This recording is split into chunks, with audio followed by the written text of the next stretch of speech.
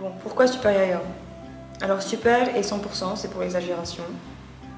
Parce qu'en Côte d'Ivoire, tout est exagéré. Et que ça parle vraiment à la population locale.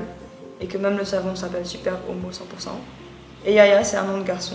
C'est un nom masculin qui est euh, commun en Côte d'Ivoire. Et je me suis dit que ça parlerait à tout le monde. Ensuite, pourquoi j'ai commencé? Ben, C'est parti sur un truc super instinctif, assez impulsif en fait. J'étais à l'aéroport avec mon poisson et mes bananes. Je partais en Inde et j'ai juste fait demi-tour et j'ai juste commencé le truc et je me suis pas trop posé de questions. J'avais envie de faire un truc frais et quelque chose qui me parle et qui me ramène à mes origines et qui me fasse euh, faire des allers-retours avec euh, Abidjan constamment et qu'il y ait au moins une raison professionnelle